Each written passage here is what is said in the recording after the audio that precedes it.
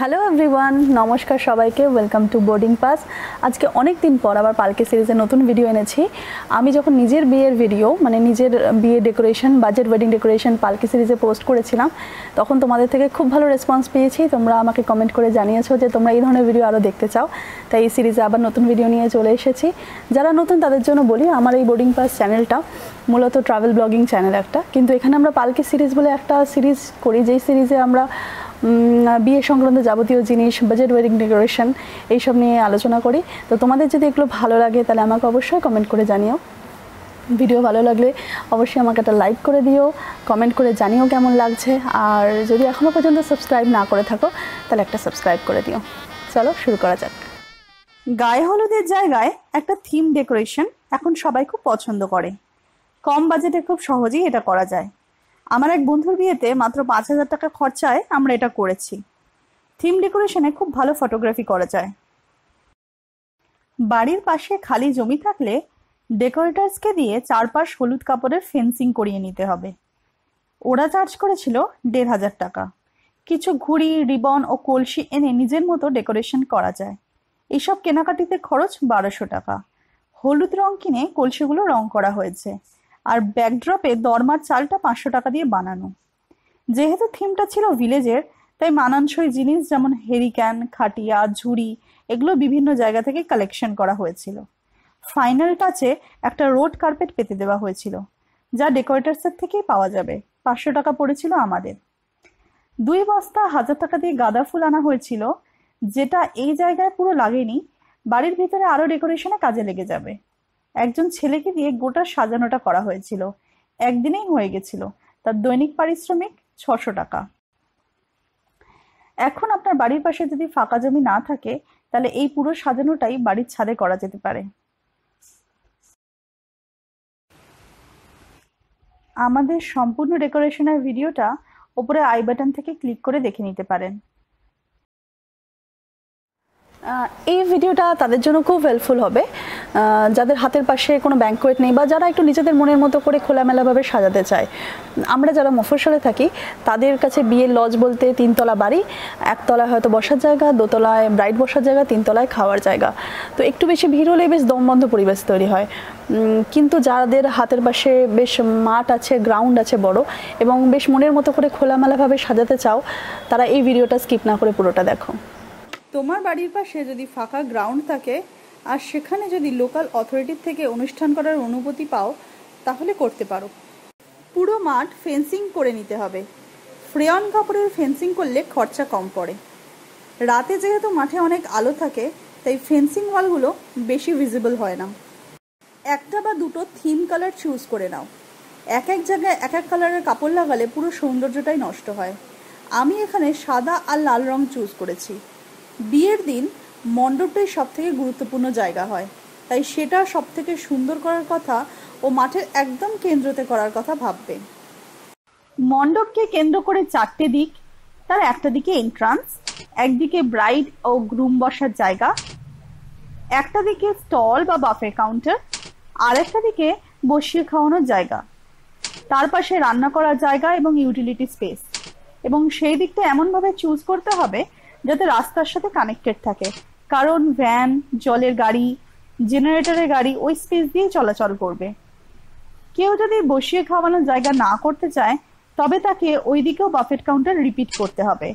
মানে একই খাওয়ার আইটেম দুটো দুটো আলাদা জায়গায়। বা ভেজ ও নন ভেজ মেনু আলাদা আলাদা জায়গায়। এন্ট্রান্স থেকে ঢুকেই একটা গার্ড ওয়াল থাকবে, যা বিয়েবাড়ির ভিতরটাকে বাইরে রাস্তায় চলাচল করা মানুষদের থেকে আড়াল রাখবে। এখন এই গার্ডওয়াল বিভিন্ন জিনিস দিয়ে হতে পারে। কেউ গণেশজির মূর্তি পছন্দ করে, কিংবা কেউ ব্রাইড অ্যান্ড গ্রুমের নেম প্লেট পছন্দ করে, বা অন্যান্য ডিজাইন এই ধরনের কাজে পৌরসভা থেকে জলের গাড়ি, ময়লা ফেলার গাড়ির জন্য আর্জি করতে হয়। ও একটা স্ট্যান্ড বাই জেনারেটর অবশ্যই রাখতে হয়, যেটা যিনি লাইটের কাজ করবেন, তিনি প্রোভাইড করবেন। আর বেশ কিছু ভিআইপি চেয়ার সোফা বিয়ের মণ্ডপের চারপাশ দিয়ে সাজিয়ে দিতে হবে। স্ট্রাকচার আর চেয়ার টেবিলের জন্য ডেকোরেটার্স পঁচিশ হাজার টাকা নিয়েছিল। কার্পেট ও ফুলের সাথে যাবতীয় কাজের চার্জ চল্লিশ হাজার টাকা।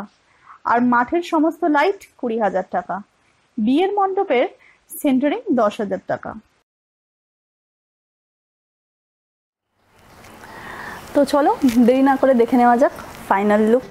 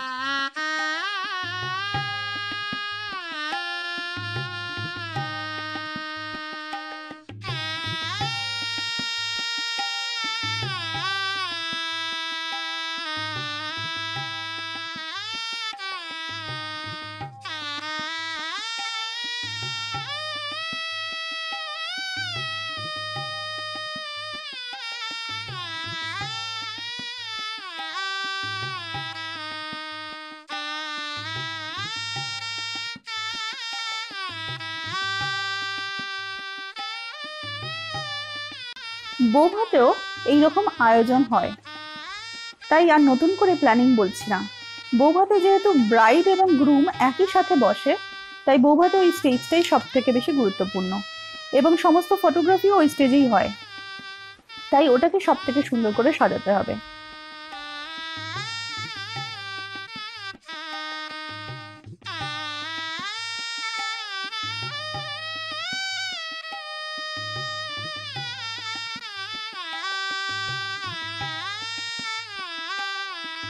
এর পরবর্তীতে আমার কাছে কিছু বৌভাতেরও ডেকোরেশন আছে। বৌভাত বা রিসেপশন পার্টি যাই বলে থাকো না কেন। তোমরা যদি সেগুলো দেখতে চাও, আমাকে অবশ্যই জানিও। তাহলে আমি পরবর্তী ভিডিওতে এই ধরনের ডেকোরেশন নিয়ে অবশ্যই আসব। আজকে লাস্ট ভিডিওতে তোমাদের একজনের সাথে ইন্ট্রোডাকশন করাবো। আমার চ্যানেল যারা রেগুলারলি ফলো করো, তারা দেখবে আমার লাস্ট ভিডিওতে ব্লুপার্স একজন চলে এসেছিল। তোমরা কমেন্ট করে জানতে চেয়েছো এবং তার সাথে ইন্ট্রোডাকশন করতে চেয়েছো। সে হচ্ছে ইনি। এই যে এই যে ইনি। হাই বলে দাও। ওর নাম হচ্ছে গফি। গফি হাই বলে দাও।